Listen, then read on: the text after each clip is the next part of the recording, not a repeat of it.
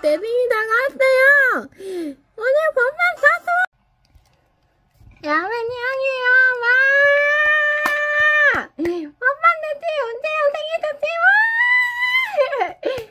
기쁘네요. 어, 오늘은요. 호박 젤리 먹방.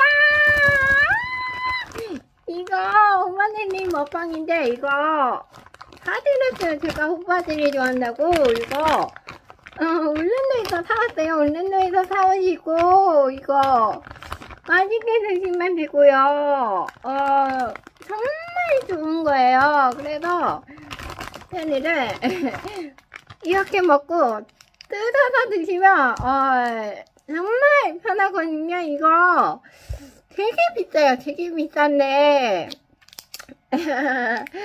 어, 진짜 맛있더라고요. 이거 사왔는데 음 너무 행복해요. 아무튼 음 여러분들이 어 이 호빵 먹방 어때요? 좋아요? 맛있죠? 음 달달하고 맛있는데 이거 얼마더라? 아 보니까 음 가게에서 팔수 있는 어 젤리고 그 다음에 음 호메드빵 그리고 어 아, 제주 어딘가 밀, 우유, 다, 땅콩 다 들어갑니다. 와, 이렇게 해서 손반내기 먹방 해만성했는데 아, 여러분들 정말 고맙고요. 음, 좋은 시간 될 것 같은데, 어, 7월달에요. 제가 아이라이너 치료 들어가갖고, 어, 6월달은 여기, 있잖아요.